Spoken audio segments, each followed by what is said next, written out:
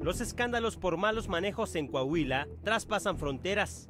San Antonio Express News, un diario de Texas, dio a conocer que Jorge Torres López, gobernador interino de Coahuila, en el periodo de Humberto Moreira, ha sido acusado en los Estados Unidos. Las autoridades de ese país lo acusan de lavado de dinero. La demanda se hizo este martes en Texas. Los fiscales federales en Corpus Christi señalan a Torres López como el propietario de una cuenta bancaria con 2.8 millones de dólares. Exponen que conspiró con Héctor Javier Villarreal, ex tesorero del Estado, para usar cuentas de bancos en Texas para llevar dinero desde México hasta Bermudas. El fiscal Kenneth Magidson de la Corte Federal en Corpus Christi indicó que el dinero se encontraba en una cuenta a nombre del ex tesorero de Coahuila, el Departamento de Justicia de los Estados Unidos explicó que los fondos de las cuentas estaban vinculados con lavado de dinero, corrupción de funcionarios, robo y uso de dinero del erario público para fines personales.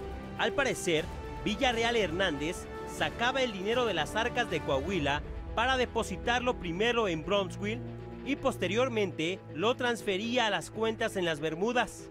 Entre julio de 2010 y marzo de 2011, el ex tesorero realizó tres préstamos fraudulentos en dos bancos mexicanos por 246 millones de dólares.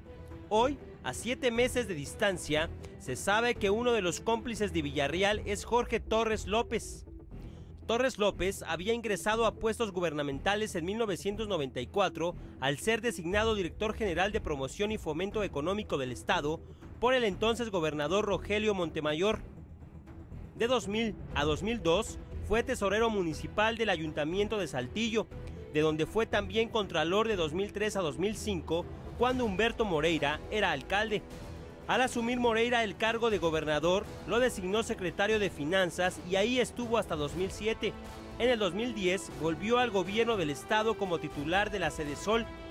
Cuando Humberto Moreira pidió licencia para convertirse en dirigente nacional del PRI en 2011, Jorge Torres López asumió el mandato de Coahuila. Durante 10 meses y 26 días, el funcionario estuvo como gobernador interino. En México la causa contra Jorge Torres no ha tenido repercusiones todavía. La Procuraduría General de Justicia del Estado dijo desconocer el caso.